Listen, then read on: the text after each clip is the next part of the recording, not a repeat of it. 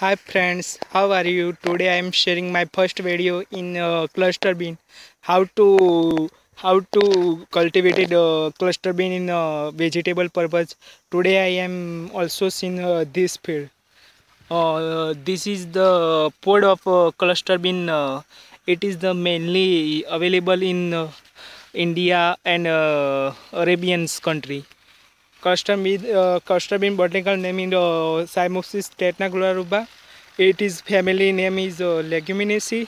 It is a uh, chromosome number uh, 2n barabar 16 and uh, more uh, it is uh, used in uh, guar gum. Guar gum uh, also product in uh, agriculture cereals uh, cereals crops in a cluster bean it is a this is the veg vegetable purpose types variety of cluster bean mostly are available in uh, uh, available in summers and monsoon season in cultivated.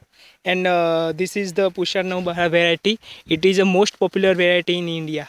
It is uh, published by iari new delhi Pusa Navbahar it is the cross of uh, Pusa Mos, the Pusa Mausami and Pusa Sadabahar. It is hybrid variety.